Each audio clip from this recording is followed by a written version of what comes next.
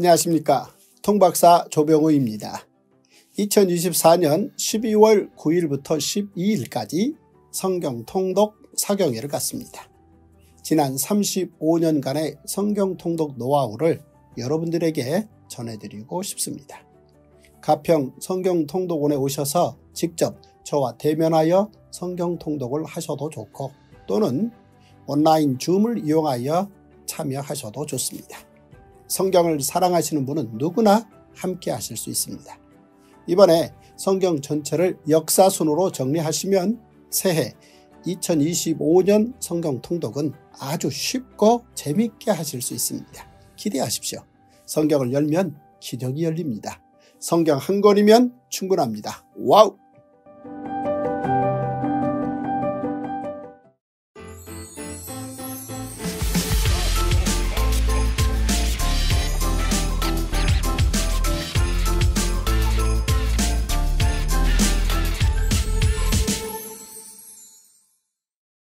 성경을 공부하는 인생은 승리합니다.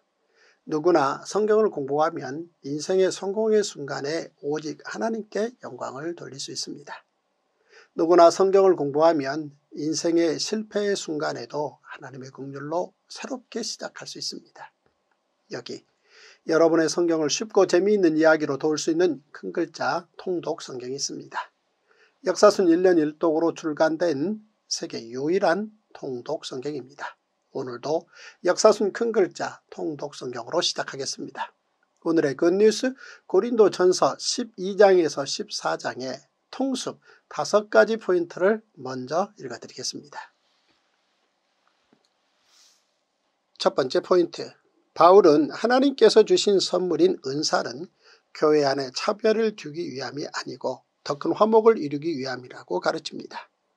바울은 고린도 교회의 질문 가운데 하나인 은사에 대해 답을 하면서 은사의 본질은 예수를 주라 시인하는 것이라고 정의합니다. 이어서 바울은 하나님께서 우리에게 은사를 주심은 유익을 주기 위함이라고 가르칩니다. 하나님께서 우리 개인과 공동체에게 유익을 주시기 위해 직분과 사역을 여러 가지로 허락하신 것입니다. 계속해서 바울은 성령의 아홉 가지 은사에 대해 소개합니다. 고린도 교회는 은사에 대해 잘못된 생각을 갖고 있었습니다. 그래서 바울은 사람마다 받은 은사는 서로 다르지만 하나의 통일성이 있다고 가르쳐 줍니다. 모든 은사의 원천이 하나님께 있기 때문입니다. 그것을 바로 한다면 은사를 통해 교회 안에서 더 큰 화목을 이루고 한마음으로 하나님을 섬길 수 있습니다. 다양성과 통일성 이것이 하나님께서 우리 공동체에게 주신 은혜입니다.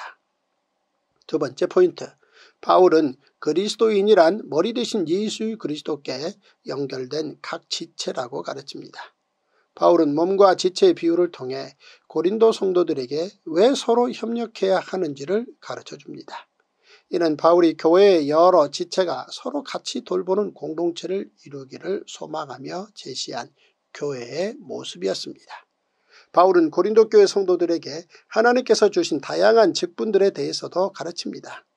하나님께서 세우신 직분은 사도, 선지자, 교사 그리고 능력을 행하는 자였습니다. 또한 성도들이 받은 은사는 병 고치는 은사, 서로 돕는 은사, 다스리는 은사, 각종 방언을 말하는 은사입니다. 바울은 몸에 대해 여러 지체가 있듯이 직분 맡은 이들과 은사를 행하여 교회를 돕는 이들이 함께 협력하라고 가르칩니다. 세 번째 포인트 바울은 사랑의 본질은 삶 속에서 실천하는 사랑이라고 가르칩니다. 하나님께서 주신 선물인 은사를 가지고 서로 헐뜯고 싸우는 고린도 교회를 보며 그들의 잘못된 생각을 바로잡기 위해 바울은 최고의 은사, 소중한 가치인 사랑에 대해 설명해 줍니다.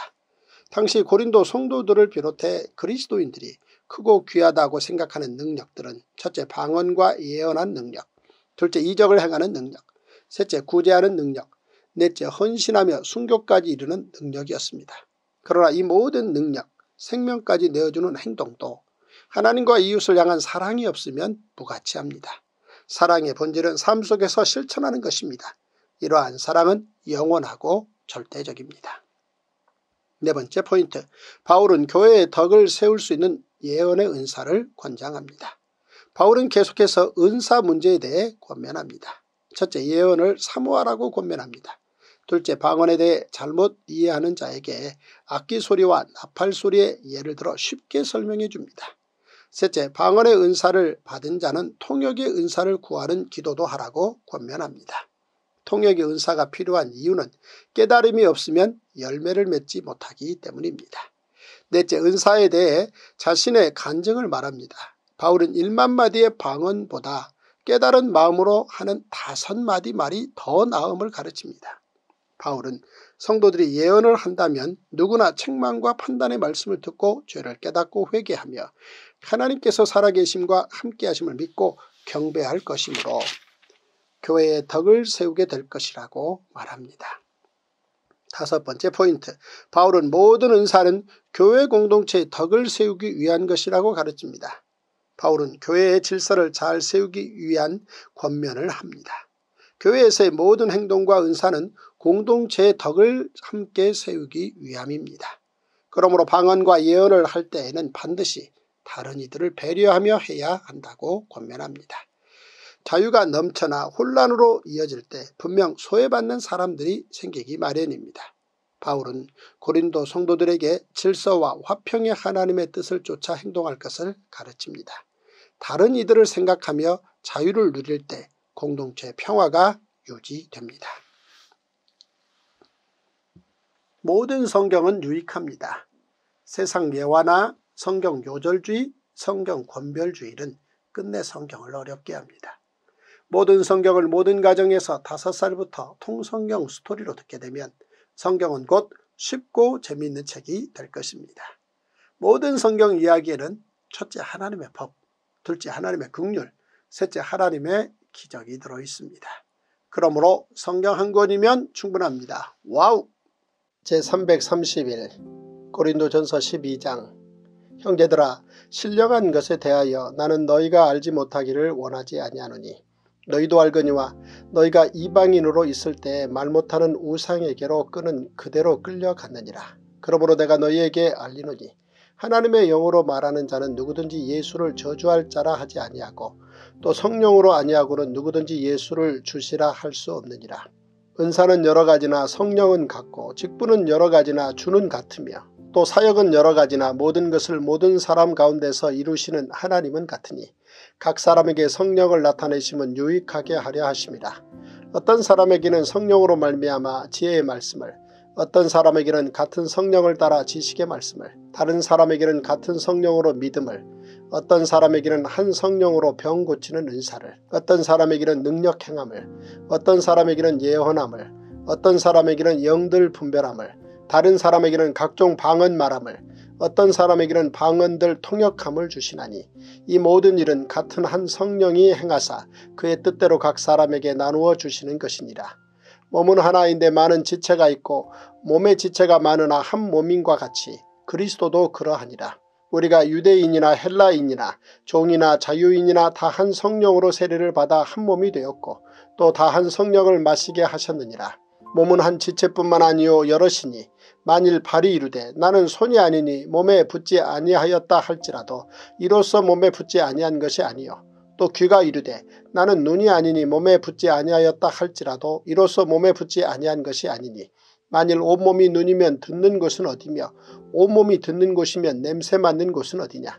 그러나 이제 하나님이 그 원하시는 대로 지체를 각각 몸에 두셨으니 만일 다 한 지체뿐이면 몸은 어디냐 이제 지체는 많으나 몸은 하나라 눈이 손들어 내가 너를 쓸 데가 없다 하거나 또한 머리가 발들어 내가 너를 쓸 데가 없다 하지 못하리라.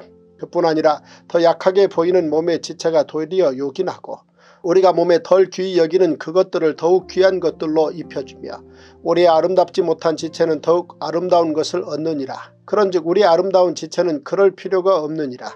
오직 하나님이 몸을 고르게 하여 부족한 지체에게 귀중함을 더하사 몸 가운데서 분쟁이 없고 오직 여러 지체가 서로 같이 돌보게 하셨느니라. 만일 한 지체가 고통을 받으면 모든 지체가 함께 고통을 받고 한 지체가 영광을 얻으면 모든 지체가 함께 즐거워하느니라. 너희는 그리스도의 몸이요 지체의 각 부분이라.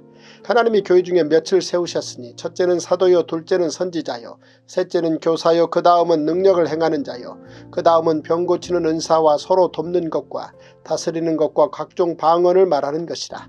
다 사도이겠느냐 다 선지자이겠느냐 다 교사이겠느냐 다 능력을 행하는 자이겠느냐 다 병 고치는 은사를 가진 자이겠느냐 다 방언을 말하는 자이겠느냐 다 통역하는 자이겠느냐 너희는 더욱 큰 은사를 사모하라.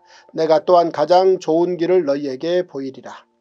고린도전서 13장 내가 사람의 방언과 천사의 말을 할지라도 사랑이 없으면 소리나는 구리와 울리는 꽹과리가 되고 내가 예언하는 능력이 있어 모든 비밀과 모든 지식을 알고 또 산을 옮길 만한 모든 믿음이 있을지라도 사랑이 없으면 내가 아무것도 아니요 내가 내게 있는 모든 것으로 구제하고 또 내 몸을 불사르게 내줄지라도 사랑이 없으면 내게 아무 유익이 없느니라. 사랑은 오래 참고 사랑은 온유하며 시기하지 아니하며 사랑은 자랑하지 아니하며 교만하지 아니하며 무례히 행하지 아니하며 자기의 유익을 구하지 아니하며 성내지 아니하며 악한 것을 생각하지 아니하며 불의를 기뻐하지 아니하며 진리와 함께 기뻐하고 모든 것을 참으며 모든 것을 믿으며 모든 것을 바라며 모든 것을 견디느니라. 사랑은 언제까지나 떨어지지 아니하되 예언도 패하고 방언도 그치고 지식도 패하리라. 우리는 부분적으로 알고 부분적으로 예언하니 온전한 것이 올 때에는 부분적으로 하던 것이 패하리라. 내가 어렸을 때에는 말하는 것이 어린아이와 같고 깨닫는 것이 어린아이와 같고 생각하는 것이 어린아이와 같다가 장성한 사람이 되어서는 어린아이의 일을 버렸노라. 우리가 지금은 거울로 보는 것 같이 희미하나 그때에는 얼굴과 얼굴을 대하여 볼 것이요 지금은 내가 부분적으로 아나 그때에는 주께서 나를 아신 것 같이 내가 온전히 알리라. 그런즉 믿음, 소망, 사랑 이 세 가지는 항상 있을 것인데 그 중에 제일은 사랑이라. 고린도 전서 14장 사랑을 추구하며 신령한 것들을 사모하되 특별히 예언을 하려고 하라. 방언을 말하는 자는 사람에게 하지 아니하고 하나님께 하나니 이는 알아듣는 자가 없고 영어로 비밀을 말함이라. 그러나 예언하는 자는 사람에게 말하여 덕을 세우며 권면하며 위로하는 것이요 방언을 말하는 자는 자기의 덕을 세우고 예언하는 자는 교회의 덕을 세우나니 나는 너희가 다 방언 말하기를 원하나 특별히 예언하기를 원하노라. 만일 방언을 말하는 자가 통역하여 교회의 덕을 세우지 아니하면 예언하는 자만 못하니라. 그런즉 형제들아 내가 너희에게 나아가서 방언으로 말하고 계시나 지식이나 예언이나 가르치는 것으로 말하지 아니하면 너희에게 무엇이 유익하리요. 혹필이나 검은고와 같이 생명 없는 것이 소리를 낼 때에 그 음의 분별을 나타내지 아니하면 필이 부는 것인지 검은고 타는 것인지 어찌 알게 되리요. 만일 나팔이 분명하지 못한 소리를 내면 누가 전투를 준비하리요. 이와 같이 너희도 혀로서 알아듣기 쉬운 말을 하지 아니하면 그 말하는 것을 어찌 알리요. 이는 허공에다 말하는 것이라. 이같이 세상에 소리의 종류가 많으나 뜻없는 소리는 없나니 그러므로 내가 그 소리의 뜻을 알지 못하면 내가 말하는 자에게 외국인이 되고 말하는 자도 내게 외국인이 되리니 그러므로 너희도 영적인 것을 사모하는 자인지 교회의 덕을 세우기 위하여 그것이 풍성하기를 구하라. 그러므로 방언을 말하는 자는 통역하기를 기도할지니 내가 만일 방언으로 기도하면 나의 영이 기도하거니와 나의 마음은 열매를 맺지 못하리라. 그러면 어떻게 할까 내가 영으로 기도하고 또 마음으로 기도하며 내가 영으로 찬송하고 또 마음으로 찬송하리라. 그렇지 아니하면 내가 영으로 축복할 때에 알지 못하는 처지에 있는 자가 내가 무슨 말을 하는지 알지 못하고 내 감사에 어찌 아멘하리요. 너는 감사를 잘하였으나 그러나 다른 사람은 덕 세움을 받지 못하리라. 내가 너희 모든 사람보다 방언을 더 말함으로 하나님께 감사하노라. 그러나 교회에서 내가 남을 가르치기 위하여 깨달은 마음으로 다섯 마디 말을 하는 것이 일만 마디 방언으로 말하는 것보다 나으니라. 형제들아 지혜에는 아이가 되지 말고 악에는 어린아이가 되라. 지혜에는 장성한 사람이 되라. 율법에 기록된 바 주께서 이르시되 내가 다른 방언을 말하는 자와 다른 입술로 이 백성에게 말할지라도 그들이 여전히 듣지 아니하리라 하였으니 그러므로 방언은 믿는 자들을 위하지 아니하고 믿지 아니하는 자들을 위하는 표적이나 예언은 믿지 아니하는 자들을 위하지 않고 믿는 자들을 위함이니라. 그러므로 온 교회가 함께 모여 다 방언으로 말하면 알지 못하는 자들이나 믿지 아니하는 자들이 들어와서 너희를 미쳤다 하지 아니하겠느냐.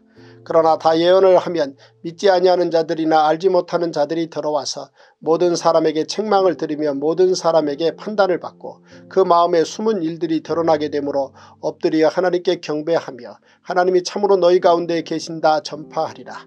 그런즉 형제들아 어찌할까 너희가 모일 때 각각 찬송시도 있으며 가르치는 말씀도 있으며 계시도 있으며 방언도 있으며 통역함도 있나니 모든 것을 덕을 세우기 위하여 하라. 만일 누가 방언으로 말하거든 두 사람이나 많아야 세 사람이 차례를 따라하고 한 사람이 통역할 것이요.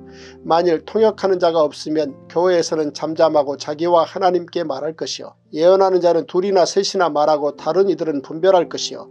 만일 곁에 앉아있는 다른 이에게 계시가 있으면 먼저 하던 자는 잠잠할지니라 너희는 다 모든 사람으로 배우게 하고 모든 사람으로 권면을 받게 하기 위하여 하나씩 하나씩 예언할 수 있느니라.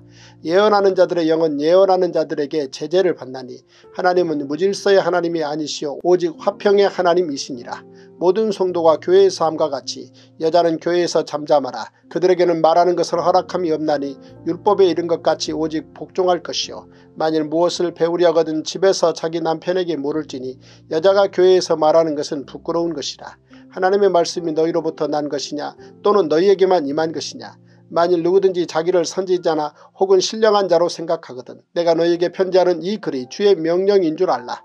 만일 누구든지 알지 못하면 그는 알지 못한 자니라. 그런즉 내 형제들아 예언하기를 사모하며 방언 말하기를 금하지 말라. 모든 것을 품위 있게 하고 질서 있게 하라.